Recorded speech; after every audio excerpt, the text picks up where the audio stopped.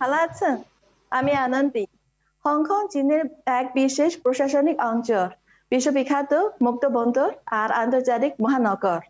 গত বছর থেকে শুরু হওয়া হংকংয়ের দাঙ্গা হাঙ্গামা বিশ্বের নজর কেড়েছে। গত মাসে সদ্য সমাপ্ত চীনের ত্রয়োদশ জাতীয় গণ কংগ্রেসের তৃতীয় অধিবেশনে গৃহীত হংকং সংশ্লিষ্ট জাতীয় নিরাপত্তা আইন আলোচ্য বিষয় হয়েছে। আজকের হংকং সংশ্লিষ্ট নানা বিষয় নিয়ে আলোচনা করব।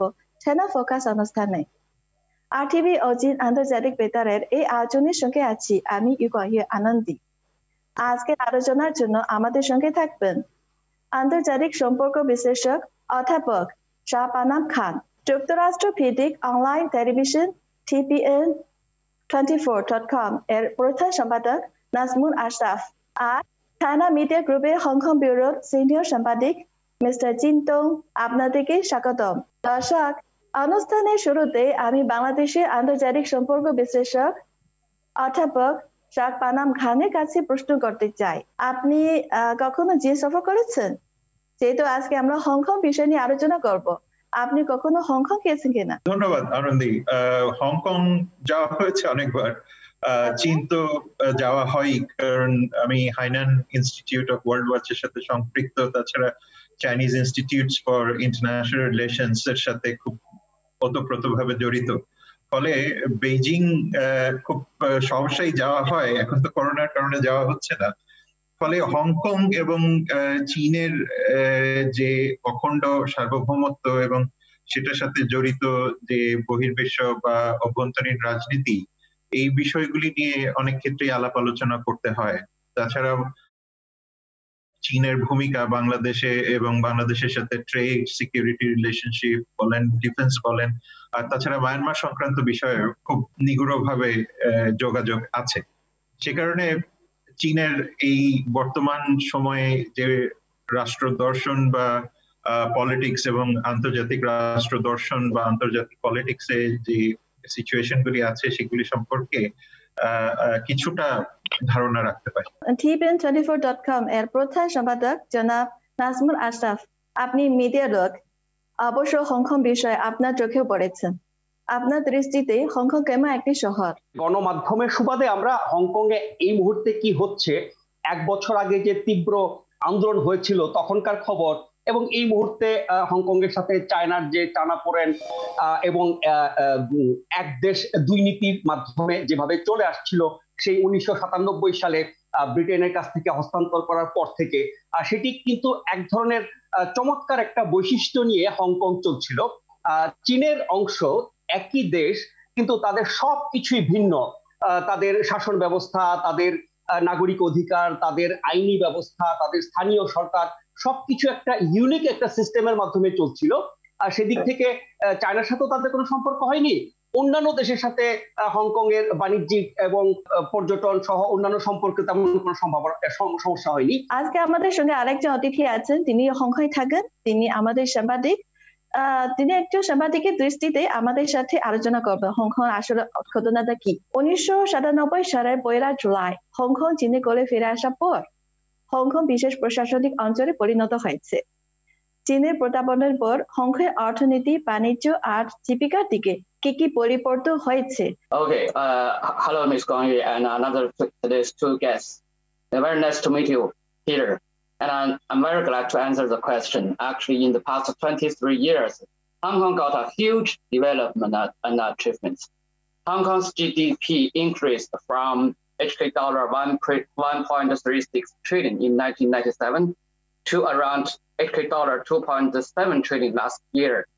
So what we can see is really a great increase, increasement.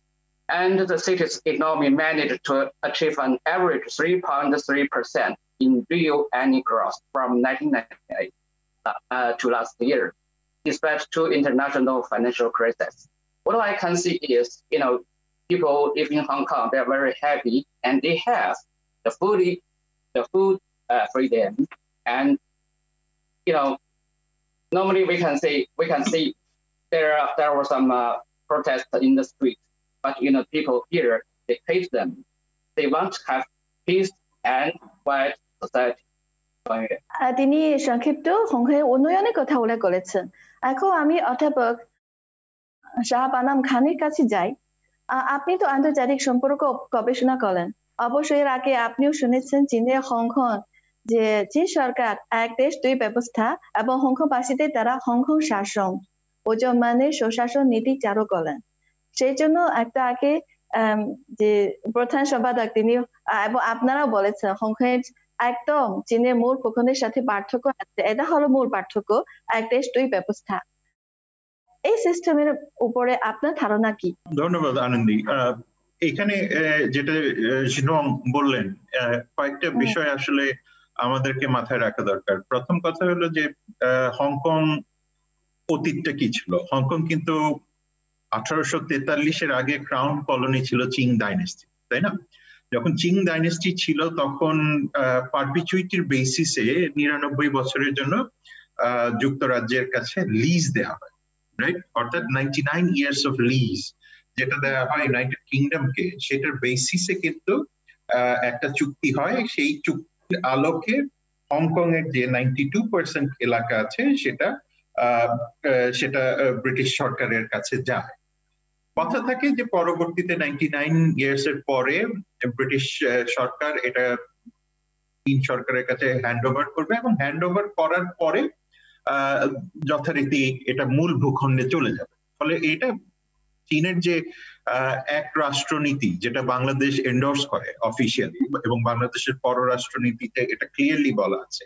এক নীতি শুধুমাত্র বিষয়টা যে হংকং কেন্দ্রিক তা না ম্যাকাও কেন্দ্রিক তিবেট কেন্দ্রিক সব জায়গায় বাংলাদেশ সরকারের একটা ক্লিয়ার পজিশন এখানে যেটা দেখা দরকার, উনিশশো চুরাশি সালে যখন মেমোরেন্ডাম অফ আন্ডারস্ট্যান্ডিং একটা হয় sign of British joint declaration যেটাকে বলে, যে নাইনটিন এইটি ফাইভে হলো সেখানে nineteen eighty seven nineteen ninety সেভেনে প্রত্যাবর্ষণ প্রত্যাবাসন বা প্রত্যার্পণ হংকং এর কি হবে সেটা নিয়ে কিন্তু বিস্তারিত আলোচনা হয়। সেখানে কিন্তু ক্লিয়ারলি বলা থাকে যে হংকং এর অটোনমি থাকবে এবং এই অটোনমি কিন্তু চীন সরকার গ্যারান্টি করেছে উনিশশো সালে থেকে। যে কারণে হংকং এর নিজস্ব লেজিসলেশন থেকে শুরু করে সব রকমের ব্যবস্থায় তার ট্রেড ইম্পিউনিটি বা চুক্তি করার ক্ষমতা প্রত্যেকটা জিনিস কিন্তু দেয়। যেটা আমরা ভারতে দেখা যায় না যেটা আপনি মার্কিন যুক্তরাষ্ট্রেও খুব বেশি দেখতে পারেন না। এই কারণে যে এই ইন্ডিভিজুয়াল স্টেট গুলি অন্তত পক্ষে ভারতের এক্সাম্পল ইন্ডিভিজুয়াল স্টেট গুলি সেই ক্ষমতা নেই যে তারা যে কোনো ধরনের ইন্ডিপেন্ডেন্ট ট্রেড ট্রিটি করতে পারে ফলে এই মুহূর্তে যে প্রবলেমটা হচ্ছে, এটা অনেক বেশি আন্তর্জাতিক প্রেসারে হচ্ছে। এটাকে যদি আমরা বলি যে শুধুমাত্র হংকং থেকে এটা এরাপ্টেড হচ্ছে, এটা বলাটা ভুল হবে। কারণ এই মুহূর্তে আরেকটা জিনিস দেখা দরকার যে চীনের সাথে মার্কিন যুক্তরাষ্ট্রের একটা বড় ধরনের দ্বন্দ্ব তৈরি হতে যাচ্ছে। এবং এই দ্বন্দ্বে সবসময় মিডিয়া একটা বড় ভূমিকা পালন করে, আর দ্বিতীয় যেটা করে, সেটা হলো বিভিন্ন রকমের প্রোটেস্ট তৈরি হয়। তবে এখানে বলে রাখা ভালো যে চীন তার যে রেজিমেন্টাল সোসাইটি সিস্টেম আছে বা লিগাল সিস্টেম আছে, সেই লিগাল সিস্টেমের কারণে হংকং এর উপরে তার যে কর্তৃত্ব আছে, সেই কর্তৃত্বটা কিছুটা জোর দিতে চাচ্ছে। এটার প্রথম কাজটা ছিল যে তারা যে আইনটা তৈরি করেছিল, অর্থাৎ এক্সট্রাডিশন আইন।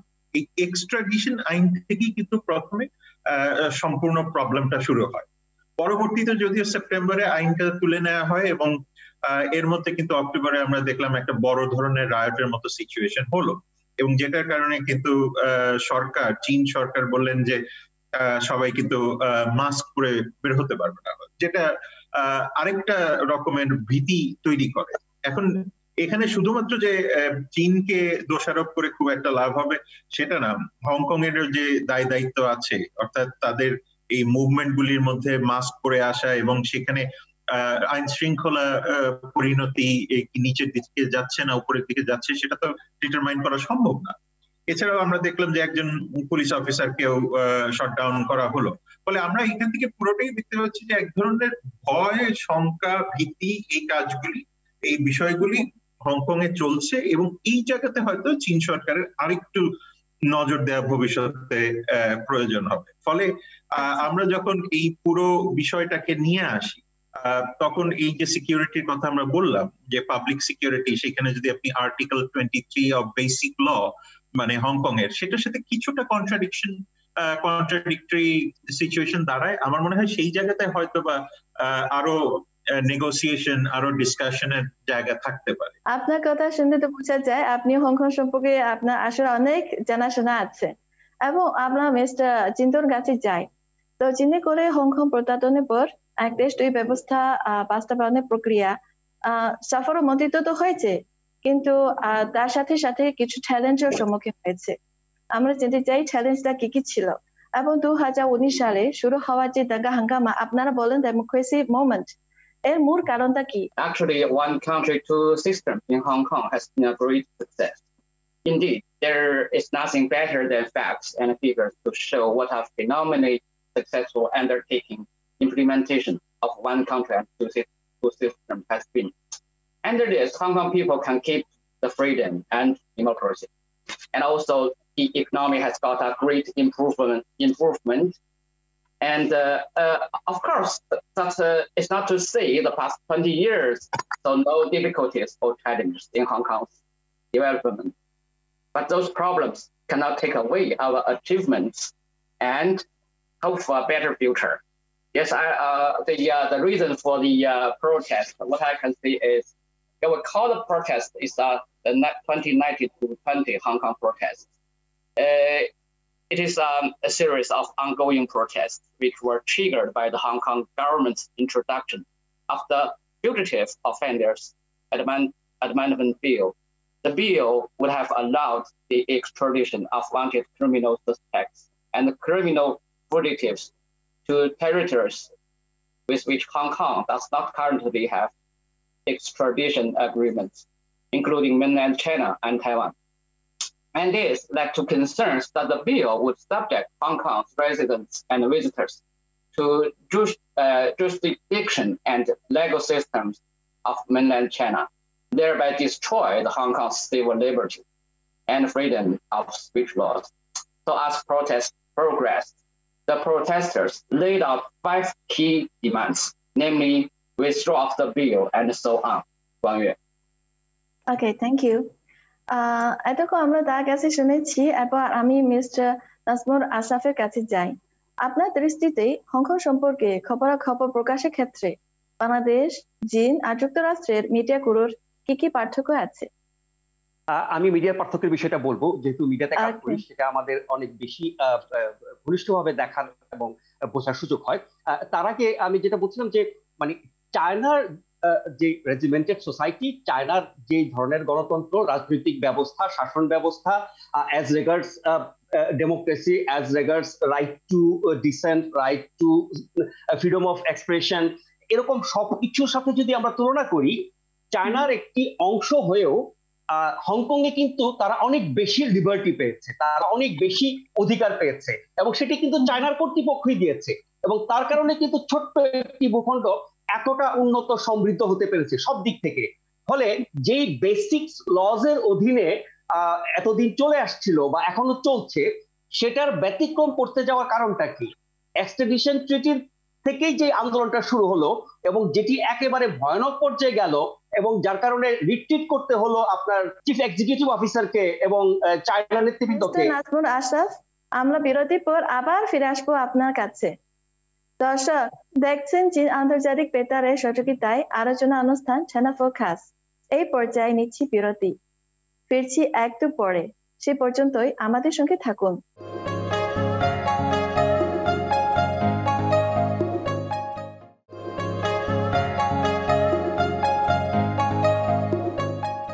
দর্শক, আবারও আমন্ত্রণ ছানা ফোকাস অনুষ্ঠানে। আজকে কথা বলছিলাম হংকং সংশ্লিষ্ট নানা বিষয় নিয়ে। বিরতির পর আপনাদের আবারও স্বাগত ছানা ফোকাস অনুষ্ঠানে হংকং দক্ষিণ চীনে অবস্থিত।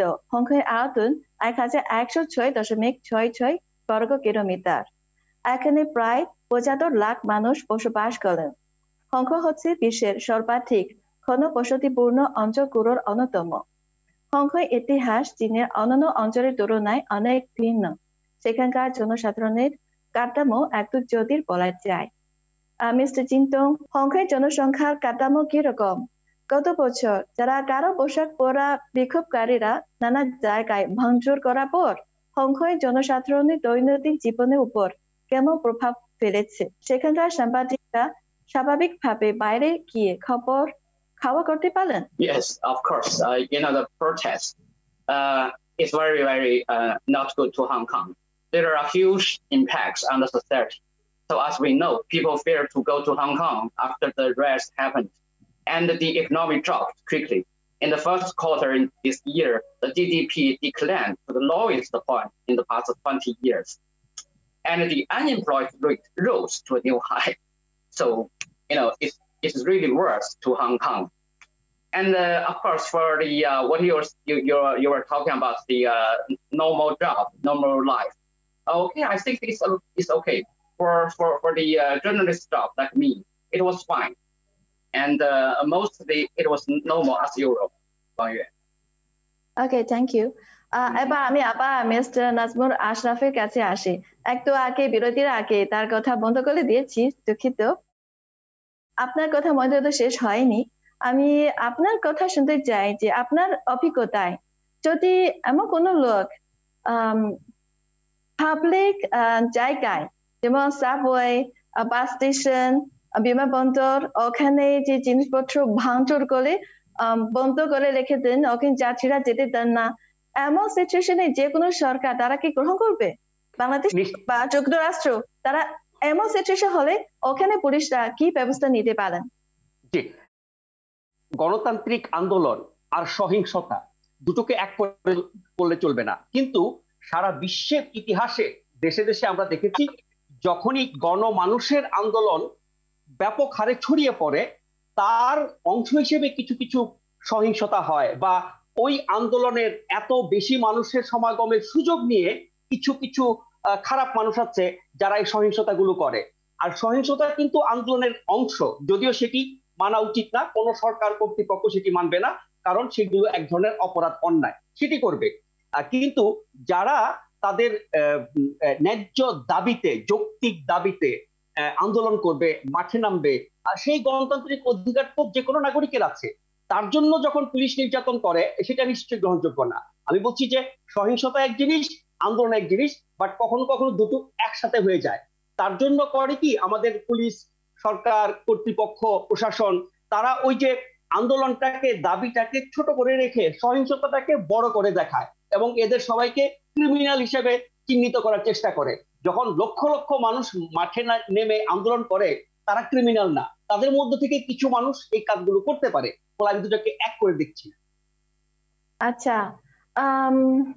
অধ্যাপক শাকমানাম খান আপনি কি মিস্টার নাজমুল আশরাফের সঙ্গে কি একমত এবং আপনি হ্যাঁ। মনে করলেন বর্তমান হংকং যে সমস্যা হওয়ার কারণ এবং সামনা করার উপায় কি? আহ, আনন্দি আমার মনে হয় নাজমুল যেটা বলেছেন এটা অত্যন্ত গুরুত্বপূর্ণ একটা বিষয়। কারণ একটা হলো প্রোটেস্টের অধিকার কিন্তু বেসিক ল বলেন বা গণতান্ত্রিক যে সিস্টেমটা আছে হংকং এ এটাতে কিন্তু গ্যারান্টি দেয়া আছে। সমস্যাটা থাকে যে বেসিক লটা দু হাজার সাতচল্লিশ সালে এক্সপায়ার করে এবং এক্সপায়ার করার পরে কি ধরনের ল আসবে সেই বিষয়গুলিও কিন্তু এই প্রোটেস্টের মাধ্যমে লিগাল ইস্যুতে চলে আসছে তবে যেটা নাজমুল বললেন যে অধিকারের আন্দোলন একটা এবং সেটাকে নিরাপত্তার মধ্যে নিয়ে এসে সেখানে ক্যাজুয়ালিটি তৈরি করা, সেটা রাষ্ট্রপক্ষই হোক আর সেটা প্রোটেস্টেডদের মধ্যেই হোক, সেটা কোনোভাবেই কাম্য না আর আরেকটা বড় বিষয় যে আমরা কোনো অবস্থাতেই ভুলে যেতে পারি না যে এখানে কিন্তু বহির্বিশ্বের একটা বড় রকমের রোল আছে। অর্থাৎ হংকং এর যে প্রোটেস্ট আছে, সেখানে বহির্বিশ্বের যে মিডিয়া রিপোর্টিং গুলি আছে, সেখানে কিন্তু শুধুমাত্র প্রোটেস্টেডদের ডিমান্ড গুলি বলা হচ্ছে। কিন্তু প্রবলেম গুলি যে আছে এবং যেটা জিনং বললেন, সেই বিষয়গুলিও কিন্তু ওয়েস্টার্ন মিডিয়াতে হাইলাইট করা হয় না।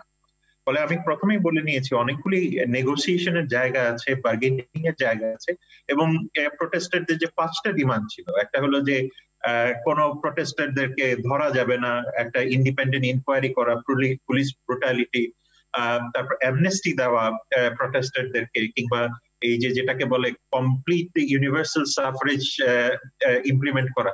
এই বিষয়গুলি কিন্তু মোটামুটি চীন সরকার অনেকটি গুছিয়ে নিয়ে এসছেন এবং এক্সট্রাডিশন ট্রিটিটা কিন্তু অলরেডি তুলে নিয়েছে এবং আপনার ওই ইন্ডিপেন্ডেন্ট ইনকোয়ারিও কিন্তু এখন শুরু হতে যাচ্ছে। সুতরাং আমার মনে হয় যে বাইরের যে ইনস্টিগেশন গুলি থাকে অন্তত পক্ষে এই বর্তমান করোনা সময়ে বা চীন, মার্কিন যুক্তরাষ্ট্র বলয়ের মধ্যে, এটা আমরা স্বাভাবিকভাবে বুঝতে পারি যে কতটুকু রোল এখানে কার কতটুকু থাকবে। থ্যাংক ইউ তো মিস্টার চিন্তু চলতি বছর যিনি ত্রয়োদশ জাতীয় গণ কংগ্রেসের তৃতীয় অধিবেশনে গৃহীত হংকং সংশ্লিষ্ট জাতীয় নিরাপত্তা আইনে, যে কি কি বিষয় বস্তু রয়েছে? এই আইনটি অনুমোদনের পর হংকং বিভিন্ন সম্প্রদায় আর আন্তর্জাতিক সমাজের প্রতিক্রিয়া কেমন এটা হলো আজকে আমরা এইটা হংকং বিষয় নিয়ে আলোচনা করা একটা মূল বিষয় Okay. Uh, oh, we call the law the Hong Kong National Security Legislation. Uh, it is very important and great for Hong Kong. Uh, after they finish the law, it will be put in the Hong Kong Basic Law. And the main function is to prevent the country, the country uh, cessation with the uh, crime of uh, uh, cessation. So 90% Hong Kong people support and agree with the new law because Hong Kong society needs peace and harmony. Hong Kong people love peace and beautiful environment. They hate riots, so they like the new law very well. So about the international society, um, unfortunately, some West countries like the USA, you know, the President uh, Trump and the government, they, they blamed that China has finished the one country, two systems. But as, as we know, Trump and the government has no rights to say that. And what they should do should do now is to pay more attention to their own country. And currently, you know, the riots in America is uh, blooming. So, so what uh, what what the Hong Kong people can feel is, I know they are very very confident to the uh, new law. Okay, thank you. তো এই বছর যে সারা বিশ্ব যে corona ভাইরাসের প্রকোপ শিকার হয়ে আমাদের জীবনের ধারা একদম অন্যরকম হয়েছে কিন্তু সবাই বিশ্বাস করলেন তো সময় পার হবে. আমাদের জীবন আবার সুস্থ হয়ে স্বাভাবিক হবে. এবং আমি বিশ্বাস করি হংকং একদিন আবার স্বাভাবিক ফিরে আসবে. আমাদের অনুষ্ঠান প্রায় শেষ দিকে চলে এসেছি. তারা আপনাদের দৃষ্টিতে হংকং ভবিষ্যতে কোন দিকে যাবেন? শাহ বানাম খান, আপনি প্রথম বলেন। আমার মনে হয় একটা কথা যদি আমাকে বলতে হয়, সেটা হবে হলো যে চীন কে আরেকটু ধৈর্য ধরতে হবে এবং হংকং কেও আরেকটু ধৈর্য ধরে একটা বাইল্যাটারাল টক এবং নেগোসিয়েশনস এর মধ্যে আসতে হবে। নাহলে এটার যে দুর্বলতা, সেটা বহির্বিশ্ব কিন্তু সবসময় নিবে এবং এটা আমাদের মনে রাখা দরকার। Thank you mister Nazmul Ashraf একটা কথাই যে হংকং এর সংকট কেটে যাক হংকং যেভাবে চলছিল সেভাবে চলুক মানুষের মধ্যে শান্তি ফিরে আসুক।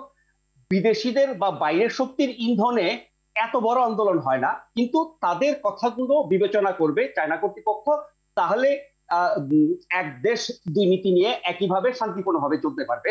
কিন্তু যেভাবে নিয়ন্ত্রণ আরোপ করা হচ্ছে এর ভুল ব্যাখ্যা দিয়ে অনেকে বলছে দুই দেশ এক দেশ দুর্নীতি নাই। এখন এক দেশ এক নীতি হয়ে গেছে। তেমনটা যাতে না হয়। আচ্ছা ধন্যবাদ। Mister Chintu? Yes definitely I am full of confidence to the Hong Kong future because Hong Kong people and Chinese people we love the peace and great society so all of us are uh, just full of confidence for our future. Thank you. Okay. আপনাদের সবাইকে ধন্যবাদ আমাদের সময় দেওয়ার জন্য এবং আপনাদের মূল্যবান অমূল্যবান মতামত প্রকাশের জন্য দর্শক এতক্ষণ চায়না ফোকাস অনুষ্ঠানের সঙ্গে ছিলেন আজকে হংকং সংশ্লিষ্ট বিষয় নিয়ে আমরা আলোচনা করেছি চীন সম্পর্কে আপনাদের কোনো প্রশ্ন থাকলে বা কোনো বিষয় জানতে চাইলে আমাদের সঙ্গে যোগাযোগ করুন ছানা ফোকাস অনুষ্ঠানে আমরা আলোচনার মাধ্যমে উত্তর দেওয়ার চেষ্টা করব। সবাই সুস্থ থাকুন। অনুষ্ঠানটি দেখার জন্য ধন্যবাদ।